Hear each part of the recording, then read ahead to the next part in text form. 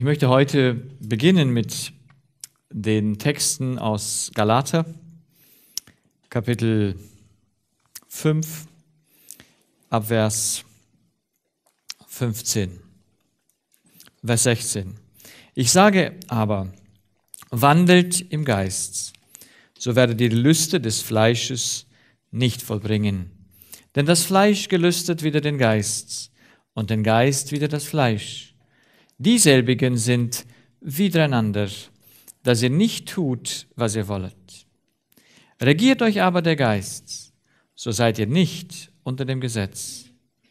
Offenbar sind aber die Werke des Fleisches, als da sind Ehebruch, Hurerei, Unreinigkeit, Unzucht, Abgötterei, Zauberei, Feindschaft, Hader, Neid, Zorn, Zank, Zwietracht, Rotten, Hass, Mord, Saufen, Fressen und dergleichen, von welchem ich euch habe zuvor gesagt und sage noch zuvor, dass die solches tun, werden das Reich Gottes nicht erben. Die Frucht aber des Geistes ist Liebe, Freude, Friede, Geduld, Freundlichkeit, Gütigkeit, Glaube, Sanftmut, Keuschheit. Wider solche ist das Gesetz nicht. Welche aber Christus angehören, die kreuzigen ihr Fleisch samt den Lüsten und Begierden. So wie ihr im Geist lebet, so lasset uns auch im Geiste wandeln. So, hier finden wir zwei Gegensätze, von denen wir versuchen, sie zu verstehen. Was sind, was ist das Fleisch? Was sind die Werke des Fleisches? Wir sehen eine gewisse ähm, Aufzählung von, von Dingen, die nicht wirklich gut sind.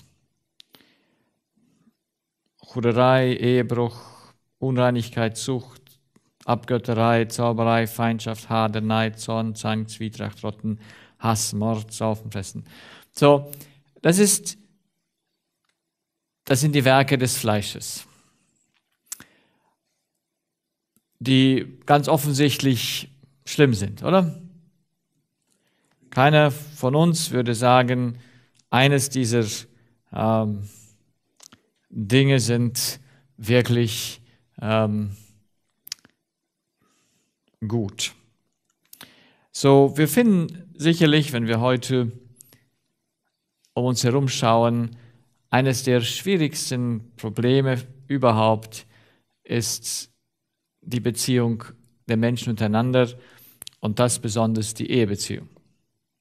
Ja, Beziehung zwischen Mann und Frau äh, war durch die Zeit, wenn wir zurückblicken, auch in der Bibel, so war die Hurerei und die Unzucht und der Ehebruch eines der Dinge, die vielleicht am häufigsten sind. Aber wir finden auch die Feindschaft, den Hader, den Neid, den Zorn und den Zank. Und wir können sagen, das alles ist nicht gut. So, wo entspringen diese Dinge her? Wo kommen sie her? Dass man so ist, neidisch, zornig. Ähm, hier steht saufen, fressen, dass man sich nicht beherrschen kann, wenn man etwas sieht, was einem schmeckt und es ist vielleicht nicht gerade die Essenszeit, warum ist man unkontrolliert dann? So, wir haben gesehen, dass das Herz des Menschen, ich male es noch einmal, damit wir uns das nochmal vorstellen können, dass das Herz des Menschen Und dieses Herz ist besetzt von dem, was hier der Paulus Fleisch nennt.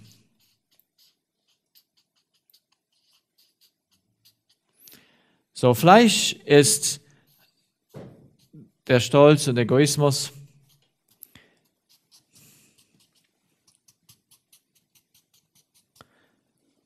der uns, das uns dazu führt, dass wir das Falsche tun. Nun, hier im Galaterbrief versucht er, die negativen Dinge von dem Fleisch zu zeigen. Und ich denke, im ersten Abschnitt haben wir gesehen, dass es gibt ja auch gute Dinge des Fleisches, oder nicht? Ja, ich kann was sagen, ich kann ähm, Wunder tun, ich kann. Und dennoch ist es aus dem Fleisch getan. So, es ist wichtig zu verstehen, dass Fleisch sieht nicht nur schlecht aus. Ja, es ist nicht nur das, was wir auf der negativen Seite sehen. Wenn jetzt hier sagt, das Fleisch führt zum Ehebruch, ja, als, als Frucht.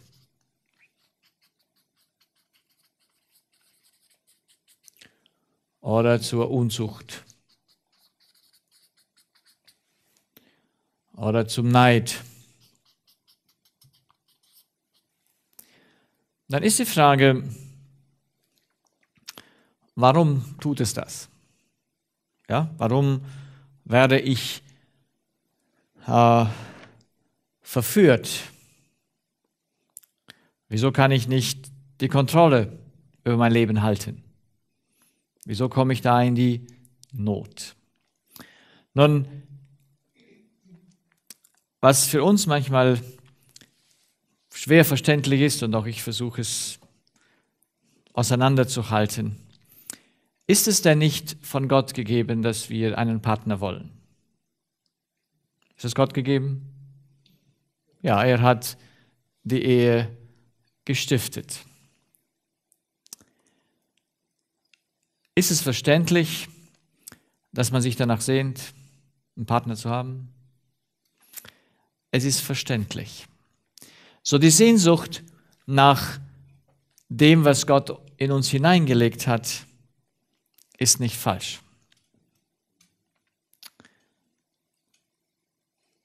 Was falsch ist oder wo das Fleisch in Aktion kommt, ist, wie ich diese Beziehung oder zu welchem Zweck ich diese Beziehung habe. Wie befriedige ich denn das Bedürfnis der Zweisamkeit? Wie tue ich's? Weil wir alle wollen was für eine Beziehung? Eine gute oder eine schlechte? Eine gute. Jeder geht in diese Ehebeziehung hinein, äh, um das Gute zu erleben. Ja, wieso bricht es denn dann auseinander? Wo kommt die Not zu tragen, dass die Beziehung nicht hält? Wie viele Beziehungen scheitern heute?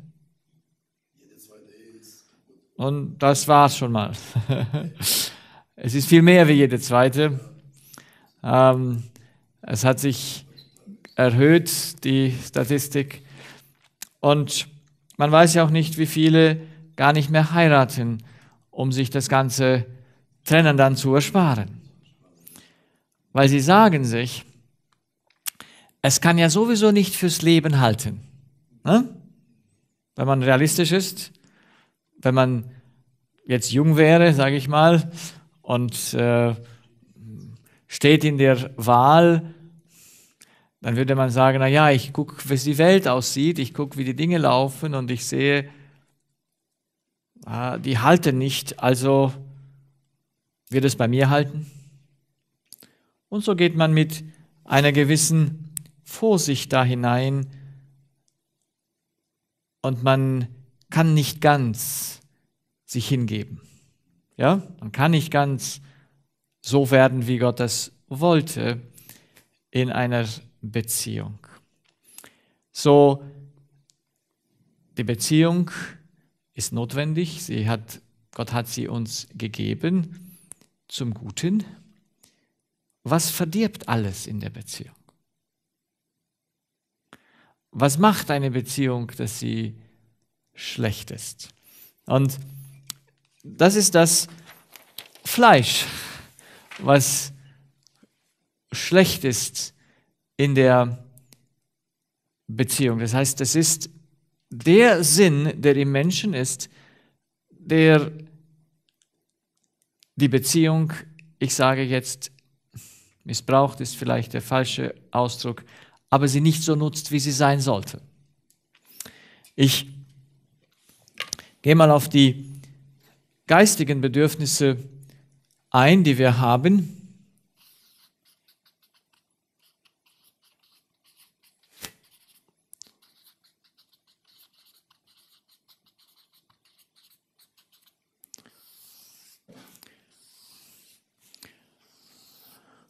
Wir haben ganz klare geistige Bedürfnisse, die in unserem Leben äh, festgeschrieben sind. Die können wir nicht abwählen, weil wir können nicht abwählen, so wie uns Gott gemacht hat. Und zu diesen geistigen Bedürfnissen gehört natürlich zusammenfassend die Liebe, oder? Oder nicht? Ja? Wir können die Freude nehmen, den Frieden. Und wir können die Gerechtigkeit, die Zweisamkeit, ja. Gott hat uns nicht gemacht, dass wir alleine sind. So, all diese Dinge, man kann die Liste vervollständigen sind richtig und gut und wir haben einen Drang dazu. Auch, und da kommen wir noch nachher hin, in der, speziell in der Ehebeziehung, die, ähm, die Sachen, die, aber das im, im zweiten Gang. Äh, so, was ist das Fleisch? Was, wo bringt das Fleisch sich ein, damit es unser Leben durcheinander bringt. Wo, wo funkt, wie funktioniert der Egoismus und in welcher Weise kommt er zum Ausdruck? Und alles, was ich festgestellt habe, ist, dass die Bedürfnisse sind unser. Wir müssen sie auch befriedigen. Ja? Die Frage ist immer nur, wie werden sie befriedigt? Und hier kommt das Durcheinander. Beim Wie geht das eine in die richtige Richtung und das andere in die falsche Richtung. So, ist Liebe, wird Liebe befriedigt durch Bekommen?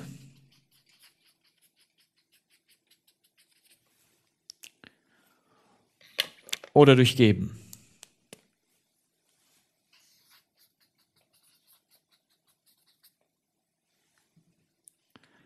Das ist die Frage. Was ist Fleisch und was ist Geist? Nun, das Fleisch ist das Bekommen, ja?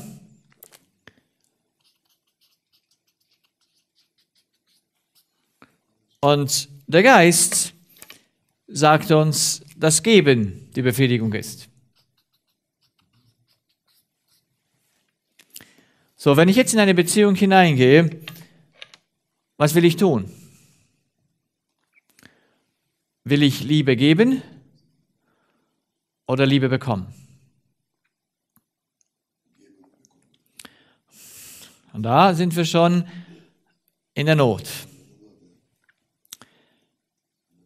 Wir können es schwer in uns selbst uns selbst prüfen, ob wir in eine Beziehung gehen, um zu geben oder zu bekommen.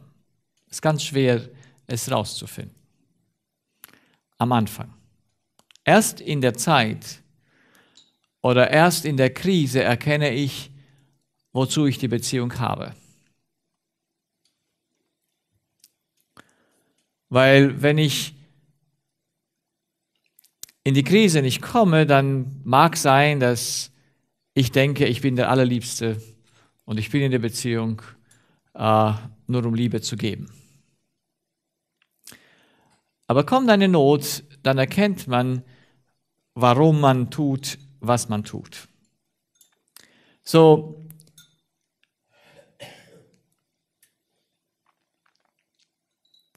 in dieser Situation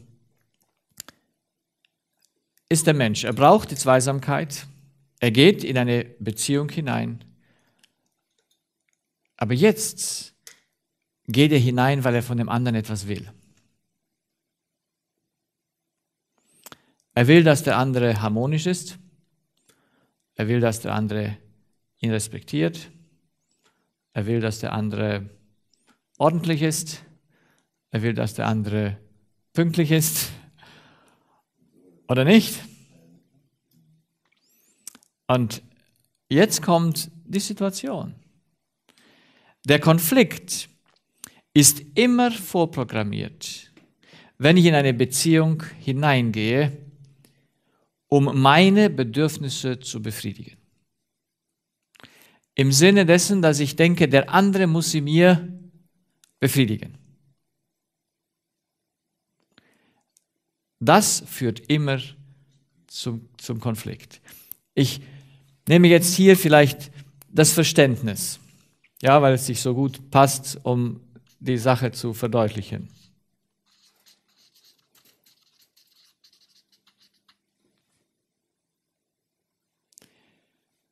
Gehe ich hinein, um zu verstehen oder gehe ich hinein, um Verständnis zu bekommen? Was ist mein erster Ansatz, warum ich mit einem Menschen zusammenkomme?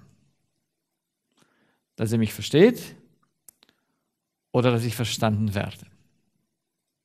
Also das heißt, dass er mich versteht oder dass ich ihn verstehe?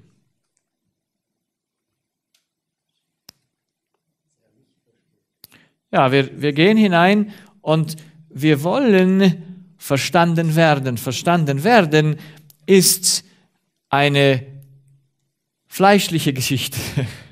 ja?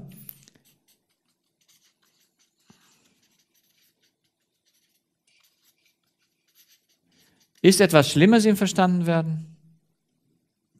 Nein. Wo liegt denn das Schlimme im Verstanden werden? Weil ich denke, im Verstandenwerden wird mein Bedürfnis nach Verständnis befriedigt. Ja? In dieser, in, das ist dieses Betrügerische in unserem Herzen. Es ist nicht falsches am Verstandenwerden. Es ist nur falsch, dass ich denke, das befriedigt mich. Und ein Teilunterschied? Alles, was mich befriedigt, ist nicht verstanden werden, sondern verstehen. So, wenn ich den anderen verstehe,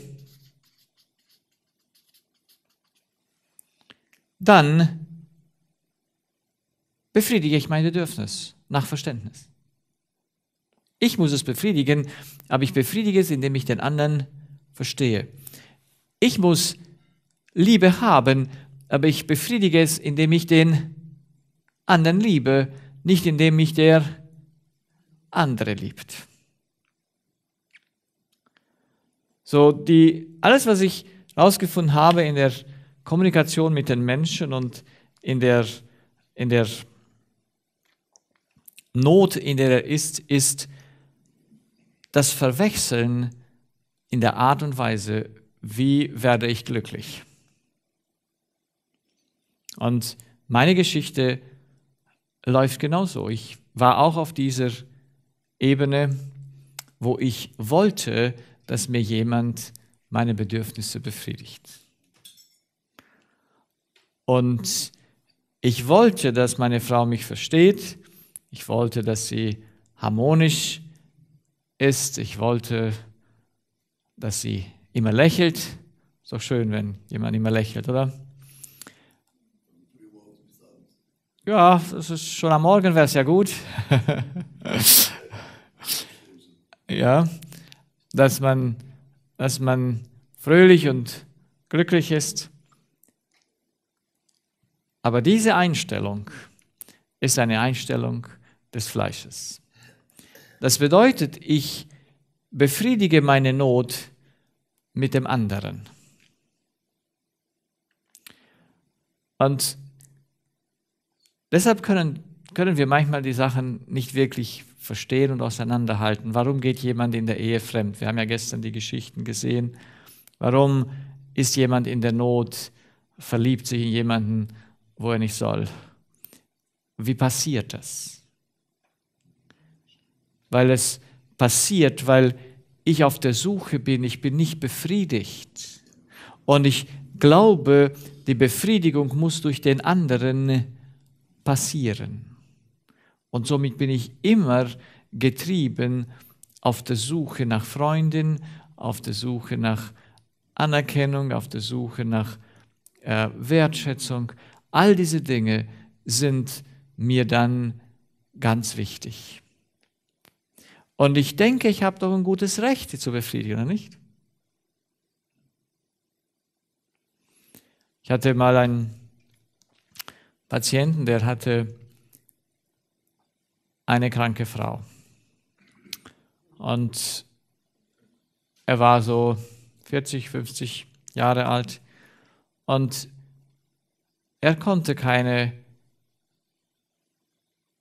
Intimität mehr haben mit seiner Frau, weil sie krank war. So hat der Mensch äh, ein Recht auf Sexualität. Woher kommt die Sexualität? Uns ist Gott gegeben. Aber für wen? Für mich oder für den anderen?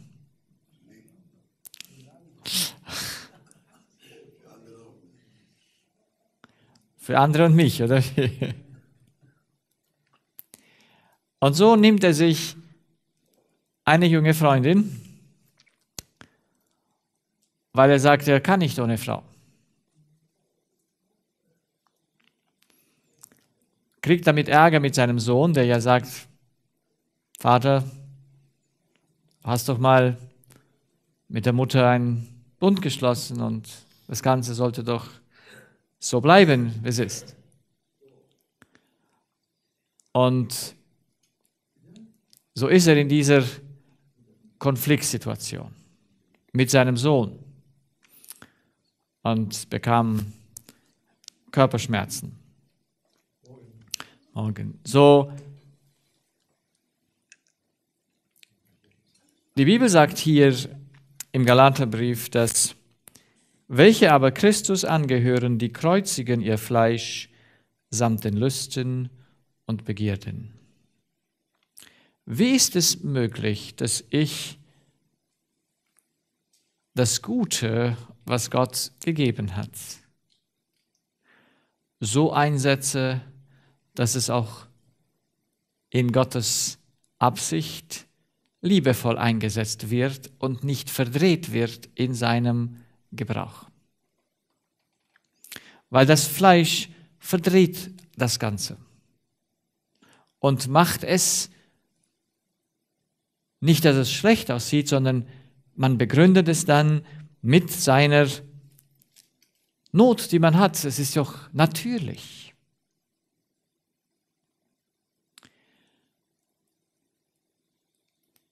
Unser, unser Mensch, der Mensch hat seine festen Bedürfnisse. Die können nicht geändert werden. Aber das, wie ich sie befriedige, ist entscheidend. Und jetzt ist die Frage, wozu habe ich den Appetit bekommen? Wozu habe ich die Lust, die Sexualität bekommen? Wozu haben die Frauen den Mutterinstinkt bekommen? Alle diese Dinge liegen im Körper. Das sind keine geistigen Bedürfnisse. Sexualität ist kein geistiges Bedürfnis. Ja? Ist ein körperliches ich sage jetzt mal, ein körperliches Plus. Das ist keine absolute Notwendigkeit, um zu leben. sie wurde uns gegeben für den anderen. Das Fleisch aber kommt und sagt, die Sexualität ist für dich. Und damit befriedigst du dich selbst, indem du den anderen dazu benutzt. Das war nie so in Gottes Absicht, als er die Sexualität machte. Er machte sie, damit ein liebevoller Geist sie nutzt zugunsten des anderen. Wenn ich sie aber zu meinen Gunsten nutze, dann kann ich nicht treu sein, wenn die Frau krank wird. Ich rede jetzt mehr zu Männern, ja. Äh, wenn sie nicht mehr so aussieht wie äh, am Anfang, wenn gewisse Sachen nicht mehr attraktiv sind an ihr, weil ich ja das Ganze für mich brauche, nicht für den anderen. Und deshalb ist eines der größten Probleme der Menschheit heute eben gerade, zumindest auf Männerseite, die Sexualität. Es ist ein, eine körperliches, ein körperliches Bedürfnis. Und ja, wir haben es, aber es ist da für den anderen, nicht für mich. Aber indem ich es nutze für den anderen, wer hat die Freude? Ich. So, immer dann, wenn wir das tun, so wie es vorgesehen war zu tun, aus Liebe für den anderen, dann sind wir auf Geistesebene. Dann regiert uns der Geist Gottes. Wenn wir es aber tun, um unsertwillen, das heißt, damit ich sage, meinen Spaß habe und ich nutze den anderen nur zu meinem Spaß, dann ist es ein selbstsüchtiges Handeln. So ist es dasselbe Handeln, ja? Dieselbe Tat.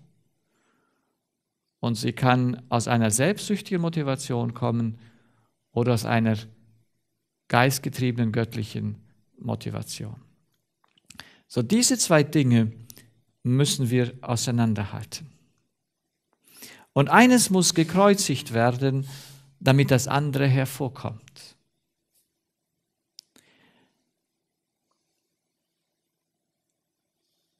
Ist das etwas äh, Leichtes? Dass wir sagen, wir gehen in eine Beziehung hinein, weil wir dem anderen dienen wollen. Weil wir wissen, durch den Dienst am anderen befriedigen wir genau das Bedürfnis, wie es Gott vorgesehen hat. Oder gehe ich zu dem, in die Beziehung zu dem anderen hinein, weil ich möchte, dass meine Bedürfnisse von dem anderen befriedigt werden? Und dann muss man ja Ansprüche stellen, dann muss man, ja, und sicherlich, die Beziehung hat Regeln. Aber meine Befriedigung meiner Bedürfnisse ist unabhängig von der Beziehung, muss unabhängig sein. Das heißt, ich muss in der Lage sein, unabhängig von dem anderen, so zu bleiben, wie es gut ist. Wenn der ein andere, wann, wann regen wir uns auf? Wann entsteht der Zank? Genau, das heißt, aber es sind ja meistens gute Dinge, die wir wollen, oder? Wollen wir was Schlechtes? Ja, wollen wir was Schlechtes? Wir, wir sind in unseren Absichten meistens gut. Wir wollen das Gute. Wir, wir sind von guten Dingen animiert und wollen es. Aber was uns im Wege steht, ist das Fleisch. Was die ganze Sache umgekehrt darstellt, als wie es tatsächlich ist. Und deshalb müssen wir verstehen, warum es so wichtig ist, dass das Fleisch gekreuzigt wird. Ja? Dieser eine Text, welche aber Christus angehören, die kreuzigen ihr Fleisch. Es ist also notwendig für uns, dass etwas gekreuzigt wird, dass wir etwas verstehen, dass es falsch ist. Wir können, glaube ich, nichts kreuzigen, womit wir einverstanden sind. Können wir? Weil mit kreuzigen bedeutet, ich gebe es auf. Ich tue es zur Seite. Es ist zwar eine Neigung in mir, es ist etwas da, aber ich verzichte darauf. Ich tue es weg, weil es falsch ist. So, erste, der erste Schritt, den Gott mit uns tun muss, damit wir wirklich willig sind mit dem Kreuz, damit wir willig sind, etwas aufzugeben, was doch so verlockend scheint, ist, dass wir verstehen, es ist nicht so gesund, es ist nicht so gut, es ist schlecht. Und wenn ich verstehe, es ist schlecht, dann bin ich bereit, es zu kreuzigen. Ich gebe ein Beispiel.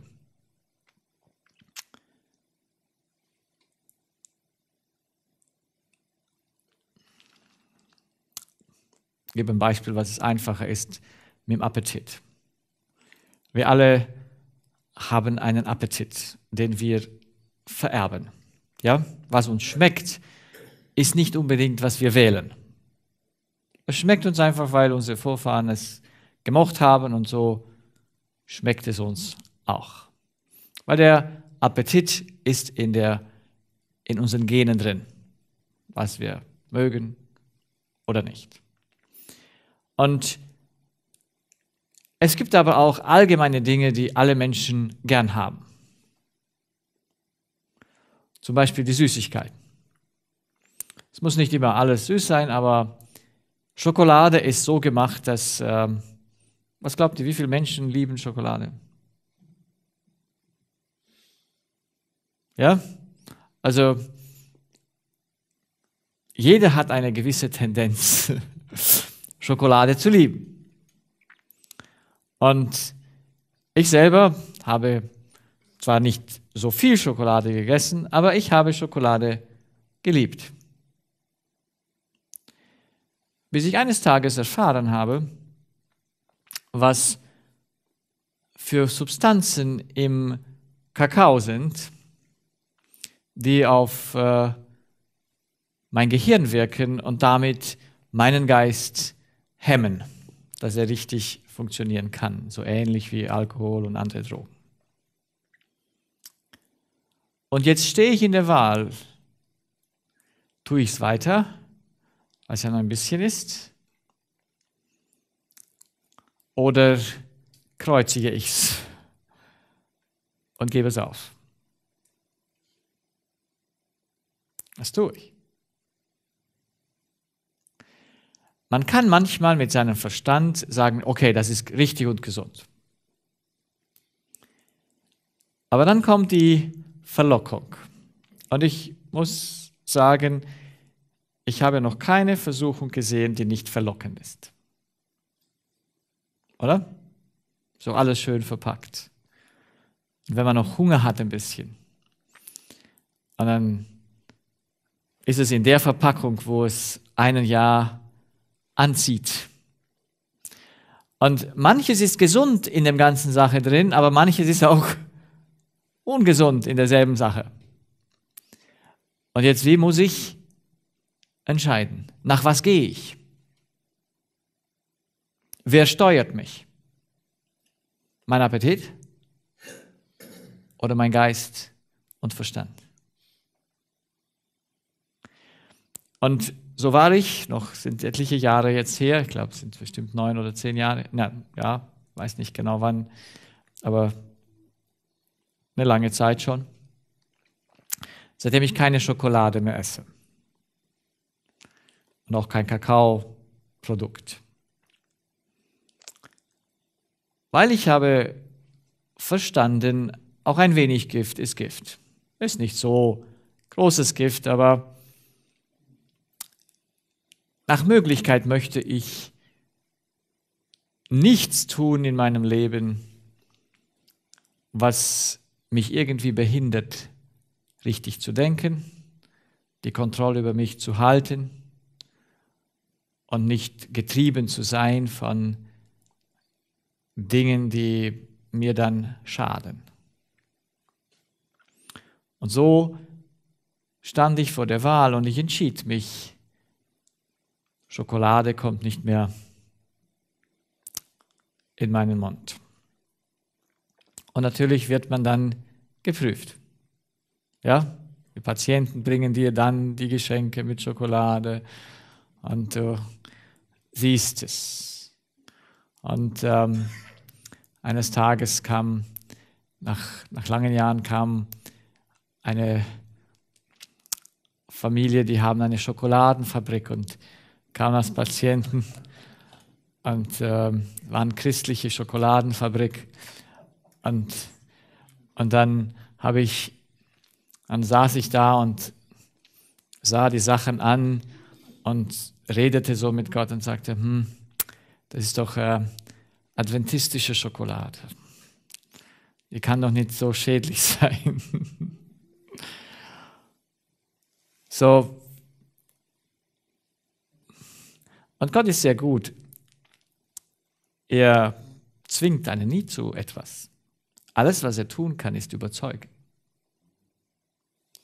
Und wenn man dann zu ihm geht, auch wenn man in der Not ist und also angezogen ist von der Schokolade. Die Anziehung ist ja noch keine Sünde. Ja? Ab, erst wenn ich sie esse, wenn ich ihr nachgebe, wird es wird es zum Schaden und zur Sünde.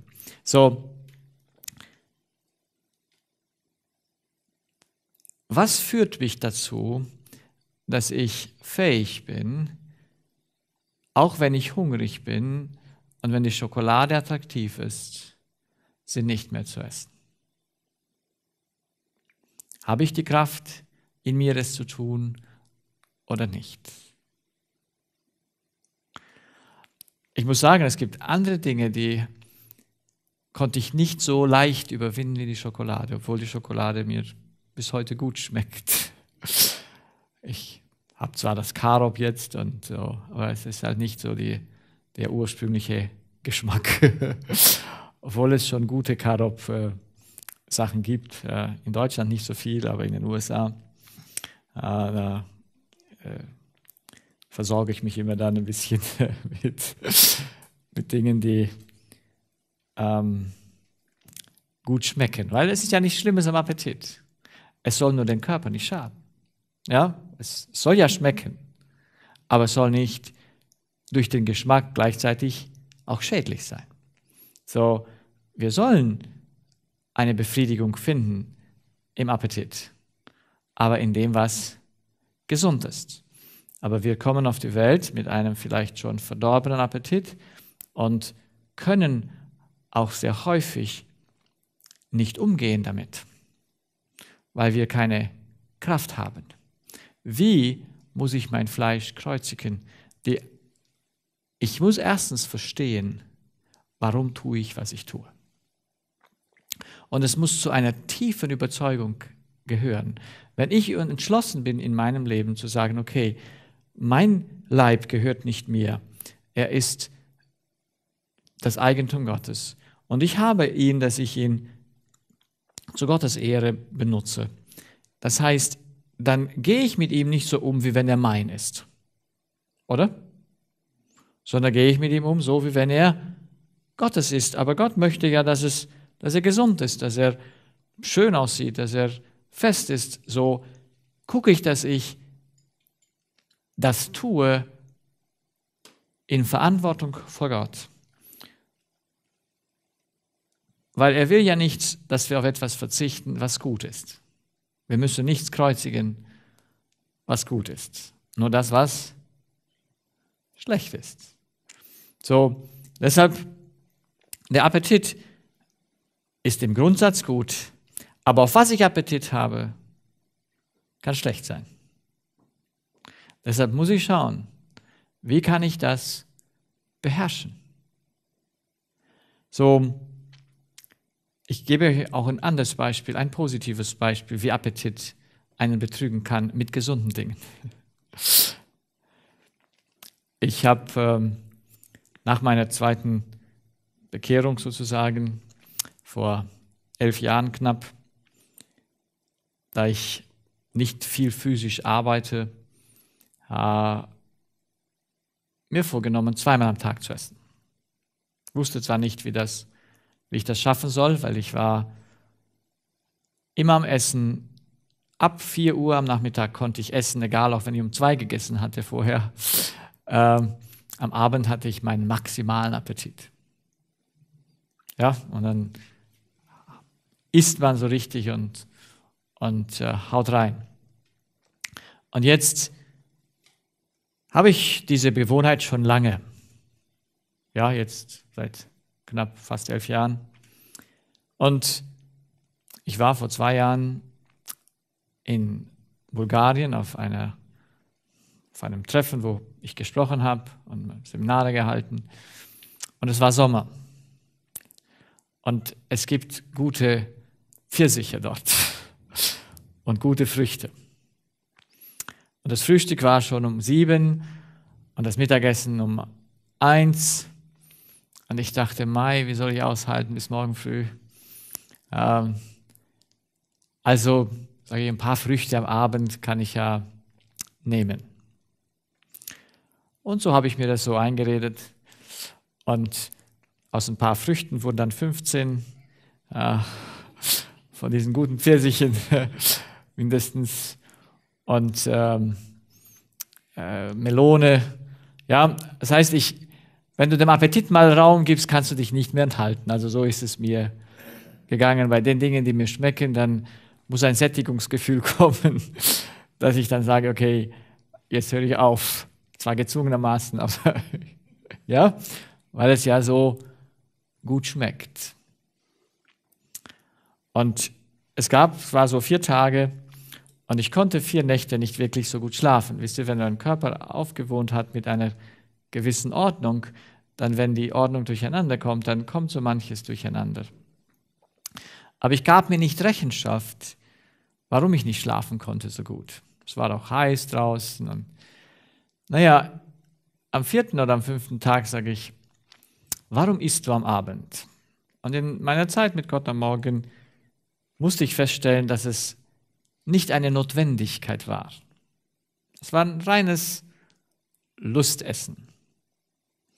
Nun, es ist gut, wenn das Essen schmeckt, aber ich denke, reines Lustessen ist nicht wirklich gut. Oder?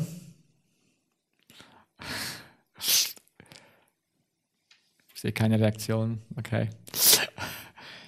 Das heißt, wir sollten essen mit Lust, aber wenn es unnötig ist, ist es genauso ein Ballast, wie wenn äh, man es nicht hat. Ja, also müssen wir verstehen, wir können unmäßig sein. Die meisten Körper heutzutage, außer man ist halt irgendwie, man hat es angeboren, dass man nicht dick werden kann. Ja, das äh, äh, gibt Völker, die werden nicht dick grundsätzlich und andere werden leichter dick. Aber die Bevölkerung ist dicker, als sie sein sollte, denke ich, grundsätzlich dort. Weil wir zu wenig essen oder weil wir zu viel essen? Weil wir kein Maß haben, nicht nur das Maß, es ist auch der Metabolismus. Kommen Leute zu mir und sagen, ich esse nicht viel, ich trinke nur Wasser und werde immer dicker. Sage ich, ja, auch das geht, weil das Ganze auch vom Geist gesteuert ist. Die ganze Stoffwechselsache ist nicht nur vom Essen gesteuert, weil es gibt welche, die essen sehr viel und werden nichtig. Ja, weil sie haben so einen starken Durchlauf. Äh, und wenn man dann noch raucht und viel isst, dann ist es auch so, dass man kaum eventuell zunimmt, weil das Rauchen noch einmal ein bisschen das Ganze beschleunigt. Aber hört man dann auf zu rauchen und bleibt bei derselben Essmenge, dann wird man, ähm, dann nimmt man zu. So, die, die Sache ist die, wenn ich also esse aus reiner Lust, dann ist das ein, man könnte sagen, ein positiver Schaden für das Leben. Sowohl für den Körper als auch für den Geist. Wenn ich zu viel esse, ja, als ich anfing, zweimal am Tag zu essen, und nicht nur als ich anfing, sondern auch später noch, hat man die Angst, es reicht nicht aus. Ja, wer das kennt. Äh, und dann habe ich viel gegessen. Das muss ja ausreichen. Bis am Nachmittag, ja, bis Nachmittag hält es ja aus, aber dann am Nachmittag, dass ich, dass am Abend, ja, bis zum anderen Morgen, nicht? Wenn du nachmittags isst, ich esse so zwischen zwei und drei, das ist die zweite Mahlzeit, und dann esse ich nicht mehr bis morgens früh um halb acht oder so, gegen acht. Und in den Anfangsjahren war es so, dass ich ins Bett ging und meistens schlief ich ein und träumte, dass ich esse. ja, weil ich ging hungrig ins Bett. Aber ich war sehr dankbar. Ich hatte ja die Entscheidung mit Gott getroffen und so hat er mich gut geführt. Aber hier in Bulgarien betrog mich mein Appetit mit den guten Früchten und ließ mich da nicht schlafen. Und als ich dann feststellte, dass ich aus reiner Lust esse, aber nicht, weil ich es muss, und mir Rechenschaft gab, das ist ein positiver Schaden, belastet den Körper, führt zur, zur, zur Not, dann habe ich es weggelassen. Gesagt, ich muss ja nicht, wenn es ein reines Lustessen ist. Ich esse halt meine Pfirsiche mit Maßen während des Essens, aber nicht dann am Abend. Und interessanterweise, die anderen Nächte habe ich dann gut geschlafen. So, Gott erwartet nicht, dass wir etwas kreuzigen, was nicht gut ist, sondern nur das, was falsch ist. Aber es kann auch das Gute, wenn es zu viel ist, ja, falsch sein. Wir haben ja in den Vorträgen habt ihr gesehen, das Leben ist auf einer Strecke gesetzt, die Gesetze sind festgelegt, nach links und nach rechts sollten wir sie einhalten. Zu viel ist schlecht und zu wenig ist schlecht. Wir brauchen also genau das Maß. Und unser Fleisch bringt uns mit dem Maß durcheinander. Weil wir brauchen den Appetit zu befriedigen, aber lassen Sie uns unbefriedigen mit den Sachen, die nicht nur gut schmecken, sondern die auch gesund sind, mit den Sachen, die in dem Maße zu essen sind, wie viel es gut zu essen ist und den Körper nicht belasten. Der Kampf, die natürlichen Neigungen zu beherrschen, ist nicht ein einfacher, oder? Also jeder, der das kennt, weiß, dass das nicht einfach ist. Aber wisst ihr, die Schwierigkeit liegt nicht im Kampf selbst. Die Schwierigkeit liegt in der Entscheidung. Ich habe diese Erfahrung, seitdem ich mit Gott gehe. Wenn Gottes Geist mich von etwas überzeugt hat und ich weiß, es ist ein Schaden für mich und für die Fähigkeit, die ich ausüben sollte, als, als Arzt, als Diener zu sein, und ich treffe die Entscheidung, dann hält er mich in dieser Entscheidung, dass ich nicht hin und her schwanke. Ich habe, seitdem ich die Entscheidung getroffen habe, Schokolade nicht mehr zu essen, nie mehr Schokolade gegessen. Im, zu sagen, naja, ich konnte jetzt nicht widerstehen. Weil einfach wenn es eine Überzeugung ist und man den Geist Gottes als Kraft hat, dann kann man der Versuchung zum Guten, ja, auf der einen Seite, die aber letztendlich schadet, ja, also guter Geschmack, aber schlechte Konsequenz, widerstehen. Was wir Menschen lernen müssen, ist, Entscheidungen zu treffen, unter der Führung Gottes und dann fähig sie sind, auch zu halten. Dann können wir sie halten. Wenn wir aber sie aus uns selbst versuchen zu tun, weil unser Verstand sagt uns, ah ja, es ist, es ist gut, ich sollte keine Schokolade essen. Und jemand ist begeistert und sagt, ab heute esse ich keine Schokolade mehr. Aber er tut das aus sich heraus. Dann, wenn die Versuchung kommt, mag er einmal, zweimal, dreimal widerstehen. Aber beim vierten Mal fällt er und isst wieder. Das heißt, was wir lernen müssen, ist feste Überzeugungen, wo wir nicht mehr hin und her schwanken, dass wir wieder zu dem zurückkehren, was wir einmal gesagt haben, wir geben es auf. So, um so diese erste Stunde zusammenzufassen,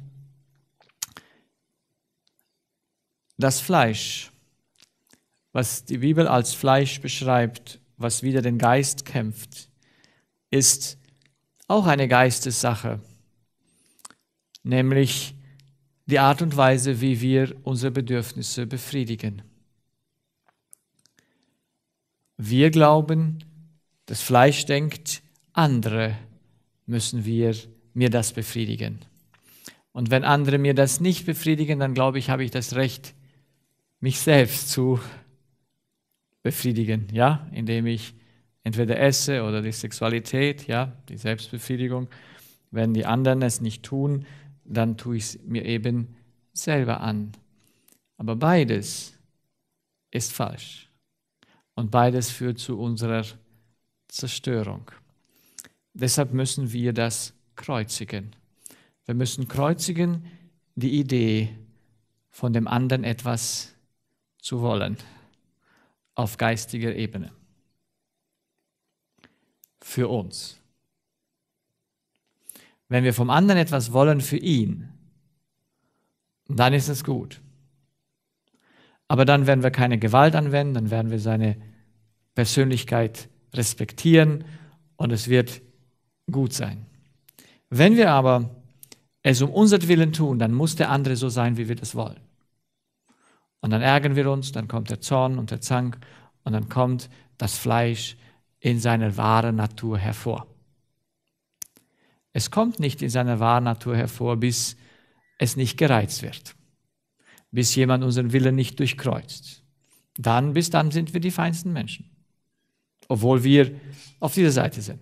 Solange wir befriedigt werden von den anderen, kommt der Zorn und der Zank nicht hervor und der Ehebruch auch nicht, weil man hat ja jemanden, der ist gut und so weiter, ja? So bleibt man in dieser Sache fest. Aber dann, wenn wir in die Not kommen, dann zeigt sich, ob unser Fleisch gekreuzigt ist oder ob es noch lebt. Ob wir dann den anderen zwingen wollen, uns unsere Bedürfnisse zu befriedigen. So, wenn ich nochmal zurückkomme zu dem Thema Geduld. Wann brauche ich sie? Wenn der andere ist, wie er sein soll, oder wenn er nicht ist, wie er sein soll? Wann brauche ich Geduld? Wenn er nicht so ist. Ja? Das heißt, in unseren Beziehungen brauchen wir die Früchte des Geistes, insbesondere dann, wenn die anderen nicht dem Maßstab entsprechen, der richtig sein mag. Ja? Ja, der richtig sein mag. So, wir sollen aus Überzeugung unser Fleisch kreuzigen. Das heißt, aus Überzeugung muss ich das Richtige tun wollen, nicht weil ich es muss oder gezwungen werde. Deshalb arbeitet Gottes Geist nicht mit Zwang und Gewalt, sondern mit Überzeugung. Ich muss also wissen, was ist jetzt richtig? Was ist tatsächlich gesund? Und was ist nicht gesund? Was ist zugunsten des anderen? Und was ist zur Selbstsucht oder wo ich den anderen nutze, zu meinen Gunsten. So, das ist die Frage. Wir sollten uns also bewusst werden, dass das Fleisch kreuzigen, die Christus angehören, steht hier, die kreuzigen ihr Fleisch. Das heißt, wenn ich mit Christus gehe, dann werde ich das Fleisch, die, die falsche Sicht über die Dinge kreuzigen. Das geschieht nicht mit allem auf einmal, sondern das geschieht der Reihe nach, so wie die Dinge mir bewusst werden. Aber ich muss nicht jeden Tag dasselbe kreuzigen. Ja, ich habe sie einmal gekreuzigt und habe mich entschlossen, also bleibe ich dann in der Entschlossenheit. Wenn ich jeden Tag dasselbe kreuzigen müsste, dann würde ich ja nicht vorwärts kommen. Verstehen wir? Wir, wir sollen für was lernen. Wenn ich also jetzt seit in, vor meiner Bekehrung konnte ich mir Dinge vornehmen, aber ich konnte sie nicht aushalten. Ich nahm mir vor, das nie mehr zu tun und ich hielt es eine Weile und rutschte wieder hinein, hatte keine Fähigkeit. Ohne den Geist Gottes können wir uns vornehmen, was wir wollen. Wir werden immer ausrutschen. Aber nehmen wir es uns vor mit dem Geiste Gottes, dann gibt er uns eine Kraft, dass unsere Entscheidung fest bleibt. Die wird natürlich geprüft und gezeigt, ob wir, ob, ob wir da festsitzen. Aber wenn sie einmal fest liegt, dann ist es sehr unwahrscheinlich, auch wenn es nicht unmöglich ist, ja, dass ich sage jetzt mal, der Schokolade wieder verfalle. Ja, weil ich tue es ja aus Überzeugung, ich tue es nicht aus, ja, und ich habe die Kraft Gottes, es zu tun. Aber es wäre schlimm, hätte ich damals vor zehn Jahren oder wann ich die Entscheidung traf, wenn ich die immer wieder treffen müsste, weil dann würde ich ja nicht vorwärts kommen, nicht lernen. Wir haben eine Menge Dinge, die wir verlernen müssen. Das Fleisch macht uns große Schwierigkeiten. Deshalb ist nur ein Vorwärtskommen, wenn ich einen Schritt nach dem anderen gehe. Wenn ich aber den einen Schritt dann nicht gehe, dann bleibe ich stehen an dem Schritt. Dann wächst, dann geht der, der Fortschritt, dass mein Herz eingenommen wird von, von ähm, von dem Geist Gottes und dass die Liebe mein Herz äh, erfüllt, geht nicht vorwärts. Weil das Ganze ist nicht ein Prozess, wo man dann immer wieder zurückkehrt zu derselben Sache. Ich muss also einen Fortschritt haben. Ich muss Dinge erledigen, sage ich so. Sonst kann ich ja zum nächsten Punkt nicht kommen. Das heißt, wenn ich in meinem Leben entdecke, dass es Dinge gibt, die, die mich immer wieder äh, überwinden, dann muss ich mich fragen, okay, warum ist das so? Versuche ich das aus meiner eigenen Kraft heraus zu tun? Oder mache ich das jetzt zusammen mit Gott und kann, wenn jemand in Christus ist, sein Fleisch kreuzigen, damit er vorwärts geht? So, es ist kein Vorwärtskommen, wenn wir nicht lernen dann bleiben wir ja stehen, immer an derselben Stelle. Und dann gibt es keinen Fortschritt. Und ich möchte natürlich vorwärts kommen. Ich denke, jeder von uns will Dinge lernen. Er wird mit ihnen versucht, aber er hat sie überwunden. Also werden sie nicht mehr wieder überwinden, weil er ja die Sache mit Gottes Kraft getan hat und damit aushalten kann, wenn die Versuchung kommt, weil das Problem ist ja gekreuzigt. Ja, wir müssen das Fleisch jeden Tag kreuzigen, aber ich würde sagen, in neuen Aspekten, die uns vorher noch nicht bewusst waren. Jetzt werden sie uns bewusst. Und jetzt muss ich sagen, okay. Und es gibt natürlich Dinge, die viel schwieriger sind zu kreuzigen wie andere. Ja, äh, Das, aber letztendlich hängt alles davon ab, ob ich überzeugt bin von dem, was ich tue, oder ob ich es nur so tue. Identifiziere ich mich damit oder will ich nur ähm, eine religiöse Form einhalten oder will ich Gott damit befriedigen?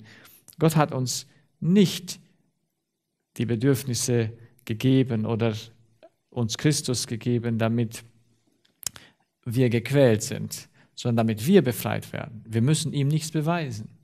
Wir müssen ihm nichts, wie soll ich sagen, keine, kein, kein Werk vor ihm tun, um zu zeigen, okay, wir können es. Nein, er ist da, damit wir etwas können. Wir müssen ihm nichts geben, auch die Anbetung ist nicht für ihn, sondern für uns. Gott braucht unsere Anbetung nicht. Er hat keine, kein Bedürfnis nach Anbetung. Wir brauchen, wir brauchen die Anbetung Gottes. Weil ich habe eine Not, nicht er. Ja, wir, wenn, wenn das, das Fleisch stellt uns Gott so dar, wie wenn er braucht die Anbetung. Er braucht meine Gesundheit. Er braucht sie nicht. Für ihn muss ich nichts tun. Können wir das auseinanderhalten? Ist manchmal sehr schwer. Wir sagen ja, wir, wir tun es für Gott. Nein. Gott hat mir und mich zu einem Zweck gemacht.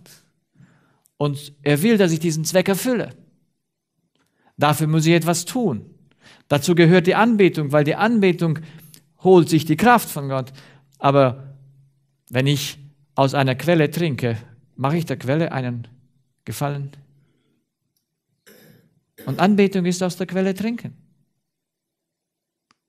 Ich tue einen Dienst, aber ich tue ihn, weil ich ein Bedürfnis habe, nicht Gott ein Bedürfnis hat. So, wir können sehr falsch sein, auch in der Religionsausübung, wenn wir denken, Gott ist auf dem Thron und er will, dass alle ihn anbeten. Das ist nicht das, was er will. Es ist eine Notwendigkeit, weil wir ja keine Kraft in uns haben. Wir brauchen ihn. Und durch die Anbetung kommen wir zu ihm und können mit ihm kommunizieren. So, lass uns damit abschließen und den Gedanken festhalten. Es ist wichtig, dass wir unser Fleisch erkennen. Und das erkennen wir nach der Frage, warum tue ich, was ich tue? Warum, wessen, nach wem richte ich mich? Tue ich es damit um meinetwillen, im Sinne meines egoistischen Willens? Oder tue ich es zugunsten des anderen? Und viele denken, was, was sie egoistisch tun, tun sie zugunsten des anderen. Wie erkenne ich es, ob ich es zugunsten des anderen tue, zu meinen Gunsten? Immer wenn ich es zu meinen Gunsten tue und der andere nimmt es nicht an, dann muss ich Druck ausüben. Und dann weiß ich, tue ich es zu meinen Gunsten.